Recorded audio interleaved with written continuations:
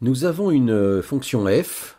On définit, on considère donc une fonction f continue sur un, euh, intervalle fermé borné A et B. AB. Euh, ben, dessinons, euh, dessinons, un exemple de graphe. Hein, voilà mon axe des ordonnées que j'appelle Y, mon axe des abscisses que j'appelle axe dt. Hein, je garde X pour un petit peu plus tard. Et voilà, disons, la courbe de ma fonction Y égale f de t, qui est continue sur un intervalle AB. Ben, il n'y a qu'à dire que A c'est ici à gauche et que B c'est ici à droite. Et voilà donc mon intervalle AB. Et maintenant, euh, définition, la fonction euh, grand F. La fonction grand F de x, qui serait égale à, en fait, l'air sous la courbe, de A depuis A, non pas jusqu'à B, mais jusqu'à un certain x, où x appartiendrait à l'intervalle AB. Donc, grand F de x, c'est l'intégrale entre A et x de f de t dt. Donc, c'est euh, où euh, je reprécise, x appartient à l'intervalle AB, donc x est compris entre A et B. Euh, sur mon dessin, hein, comment ça se...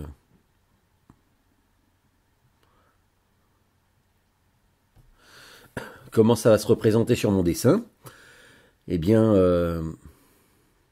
il va y avoir, je vais représenter un nombre x entre A et B.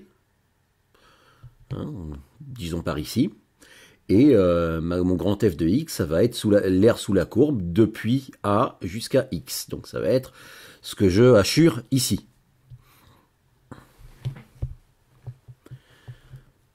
Et donc là, on va essayer de prouver le théorème fondamental de l'analyse qui nous dit que quand je dérive la fonction grand f, eh bien j'obtiens la fonction petit f. Et euh, donc essayons de dériver la fonction grand f. Donc calculons grand f' de x. La fonction grand f étant définie euh, d'une manière qu'on ne connaît pas, on ne peut pas la calculer à l'aide de dérivées d'autres fonctions connues, donc on va devoir revenir à la définition de la dérivée. La dérivée de la fonction grand f, à supposer qu'elle soit dérivable, ce serait la limite de grand f de x plus h moins grand f de x, le tout sur h, et ceci est cette limite à prendre lorsque h tend vers 0. Hein. Si jamais cette limite existe, eh bien, ce sera la dérivée de la fonction grand f existera et euh, ce sera euh, cette limite-là. Eh bien, euh, il, suffit de, il suffit donc de remplacer, tout ce qu'on a à faire là, c'est de remplacer grand f de x plus h et grand f de x par leur valeur. Donc grand f de x plus h, c'est l'intégrale entre a et x plus h de petit f de t dt. Et grand f de x, c'est l'intégrale entre a et x de f de t dt. C'est exactement ce que j'ai écrit au-dessus. Et euh, donc on, divise tout ça par h. Voilà, donc euh, non, mon grand f de x, sous réserve d'existence, c'est cette limite-là. Maintenant, intéressons-nous à ces deux intégrales et à leur signification. On va donner une signification graphique au numérateur de cette grosse fraction. Euh, qu'est-ce que c'est euh, l'intégrale de a à x plus h de f de t dt? Bien, mon x plus h, je peux supposer qu'il est un petit peu à la droite de x, je le mets là. Et l'intégrale de a à x plus h, c'est donc l'air sous la courbe, depuis a jusqu'à x plus h, donc un petit peu plus loin que là où j'avais assuré précédemment. Et l'intégrale Maintenant, la deuxième intégrale, l'intégrale entre a et x de f de t dt, eh bien, c'est l'air sous la courbe entre depuis a jusqu'à x. Hein. Je vais repasser un petit peu plus fort. Je vais vraiment colorier. C'est la première aire qu'on avait assurée. Et donc, euh, je remarque au numérateur de cette fraction que je les soustrais toutes les deux. Et je les soustrais toutes les deux. Qu'est-ce qui va me rester? Ben, Il va me rester la différence entre les aires. Donc il va me rester euh, l'air que, que tu ne vois uniquement que assuré. Moi je vais la, colorier d'une autre couleur, hein, disons de cette couleur-là. Voilà. Donc ce que j'ai colorié là, euh, là en, violet, c'est euh, la différence entre ces, deux intégrales. C'est donc bien égal à mon numérateur et c'est aussi l'intégrale depuis x jusqu'à x plus h de f de t dt. Donc en fait, euh, tout mon numérateur là euh, peut se réécrire sous la forme de cette intégrale. Et ma dérivée, à supposer qu'elle existe, ce sera la limite lorsque h tend vers 0 de, ben, je vais mettre le 1 sur h en facteur. 1 sur h fois quoi? Ben, Fois ce qu'on vient de dire, c'est-à-dire fois l'intégrale. Fois cette intégrale-là, l'intégrale de x à x plus h de f de t dt.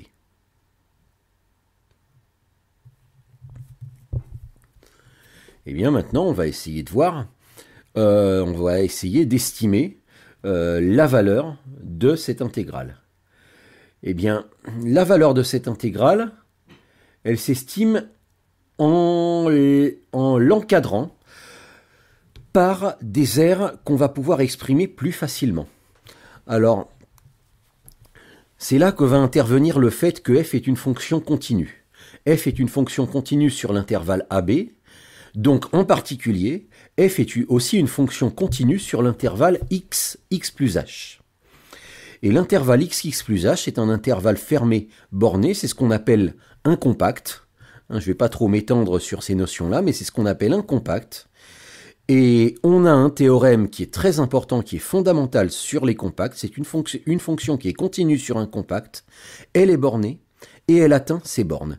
Qu'est-ce que ça veut dire qu'elle atteint ses bornes?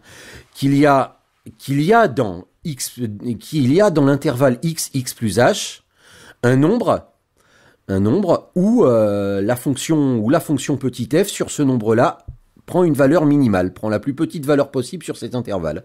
Et il y a aussi un autre nombre sur lequel euh, la fonction prend une valeur maximale. On va, écrire ça pour bien expliciter ça. Il existe donc un petit m dans l'intervalle x, plus h, Hein, parce, que, cet intervalle est compact, est, compact et que f est continu, tel que f de petit m, c'est le minimum, c'est le min des f de t pour t appartenant à x, à x plus h. C'est euh, le nombre dans xx plus h qui a la plus petite image par f. Et il existe aussi un nombre dans xx plus h qui a la plus grande image par f.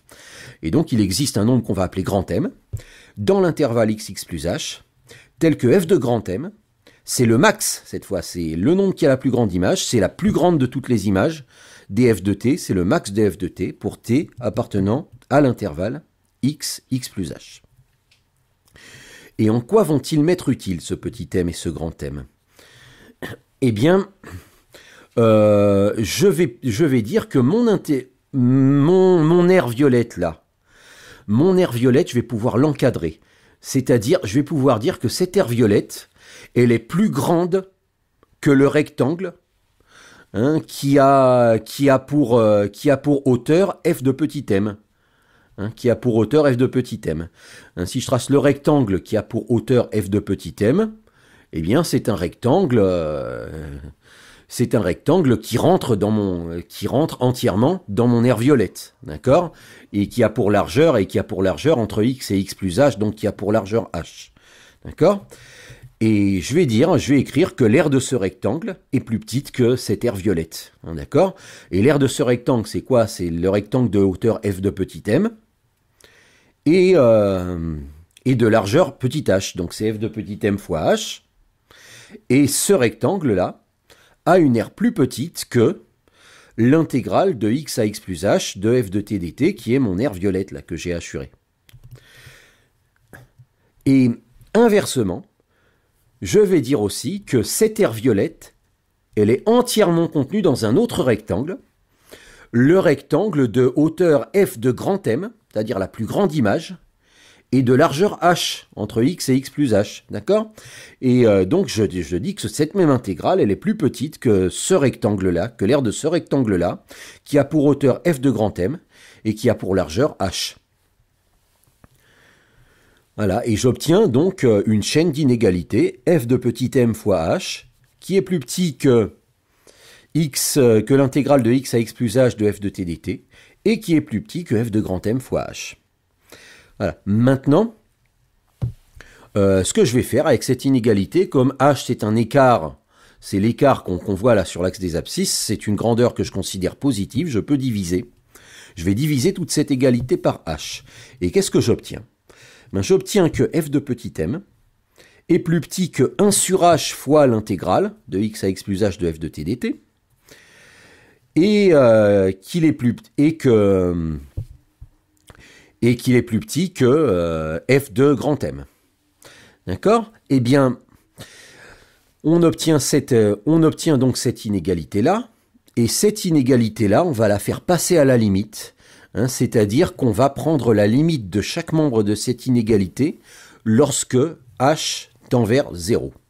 Et donc on obtient que la limite lorsque h tend vers 0 de f de petit m est plus petite que ben, la limite lorsque h tend vers 0 de cette intégrale, on a dit que c'est exactement euh, on a dit que c'est exactement euh, f' de x. Hein qui, elle, qui elle-même est plus petite que euh, la limite lorsque h tend vers 0 de f de grand M. Maintenant, considérons le membre de gauche de cette égalité, la limite lorsque h tend vers 0 de f de petit m. Qu'est-ce que ça peut bien être? Eh bien, petit m, il est compris entre x et x plus h. Hein. petit m, il est dans l'intervalle x, x plus h. Donc lorsque h tend vers 0, eh bien, cet intervalle se rétrécit. Cet intervalle, la borne inférieure de cet intervalle, c'est x. La borne supérieure de cet intervalle, c'est x plus h. Et lorsque h tend vers 0, x plus h va tendre vers x. Et petit m qui est coincé entre les deux, lui aussi va être obligé de tendre vers x.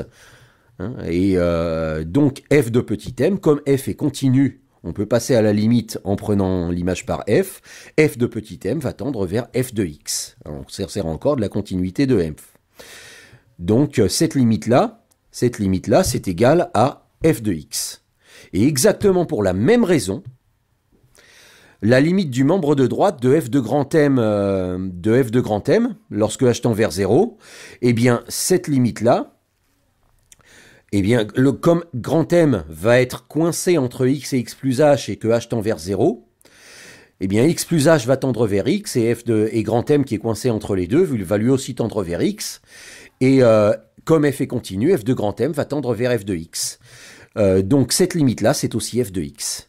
Et je me retrouve avec, avec quoi? Ben Avec f' de x, avec grand f' de x, qui est coincé entre petit f de x à gauche et petit f de x à droite. Comment est-ce possible? La seule possibilité, c'est que grand f' de x soit égal à petit f de x.